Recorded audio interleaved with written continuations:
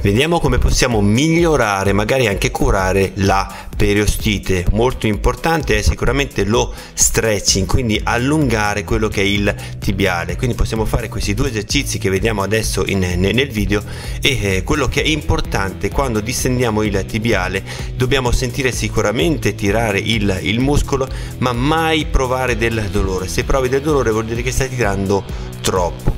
Un'altra cosa che possiamo fare è fare dei piccoli massaggi, magari con una pallina di gomma come, come in questo caso.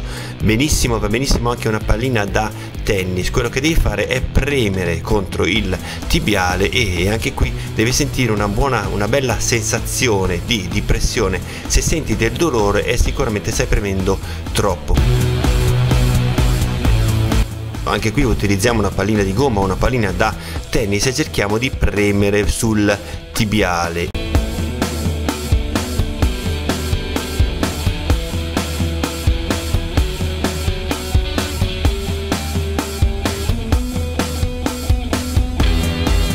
mi raccomando anche qui premere ma non troppo. Possiamo anche prendere un black roll o un rullo appunto per dirla in italiano e, e possiamo appunto premere e massaggiare il tibiale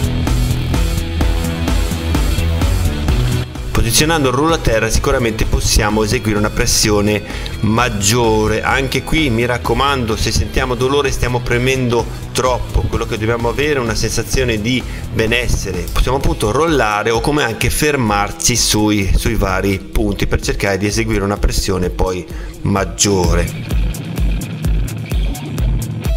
Importantissimi sono anche degli esercizi di forza, soprattutto per prevenire. Questi esercizi, sicuramente non farli se, se soffri già di periostite, questi esercizi vanno fatti prima. E quindi quello che dobbiamo fare è fermare i piedi, va benissimo una staccionata come anche soprattutto una, una spalliera svedese, blocchi i piedi, indietreggi con il corpo e lavori appunto con il tibiale. Un'altra cosa che puoi fare è prendere un elastico e fare appunto questo esercizio, quindi contraendo e distendendo il tibiale. Questi sono esercizi che ti consiglio di fare per prevenire la periostite e per correre poi meglio. Con questo ti saluto, ti ringrazio, ti abbraccio e mi raccomando sempre a casa.